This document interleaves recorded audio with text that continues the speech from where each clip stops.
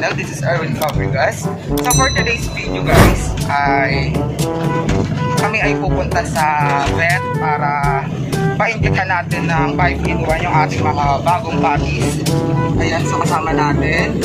And pa-injectan na rin natin yung aming ano, dating far babies. Si Hanabi and yung kanyang tatlong tikiting. And at sa harapan si Tamus. Ito sa aming mga babies. Malikot ayun. Palayantigin sa labas. So, first time nila mababaksin guys. Itong tatlo. So, ang, ang breed nila guys is Shih Tzu. Ayan, so ang cute. Baby, hello sa vlog ni Daddy. Ayan. So, ano to guys? Bali, lima sila na inilabas. Kaya lang, isa namatay. Then, yung isa ay pinili na. So, hindi ko sana ibibenta guys. Kaya lang, ay close ni Densky. So, parang nagpumilit na bilhin yung ating ano, yung isa.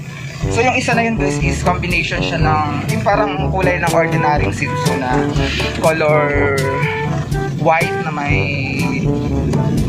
halong parang may pagka batik-batik siya na ano na brown and black.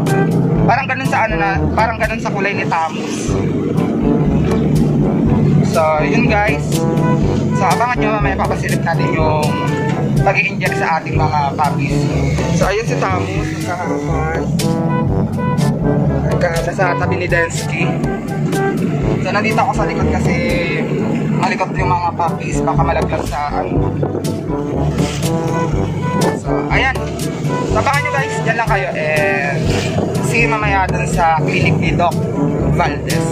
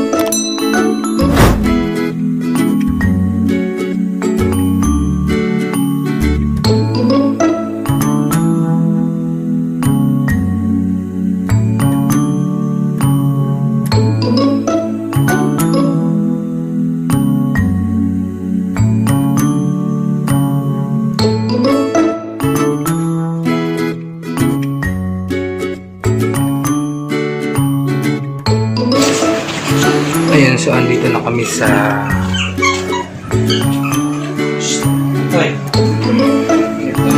sa tawag dito. Clinic ni Doktor and tapos na sila mag first ay, yung first vaccine nila ng 5 in 1 ay natapos na. So kasi medyo ano sila nangangate so pa-injectan din natin.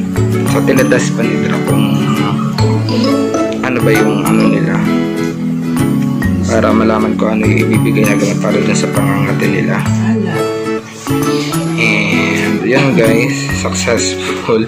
Wala namang umiyak dun sa ano, first vaccine ng 5 in 1. Tamot, kalikot-likot mo tamot ah. So ayan sila. So,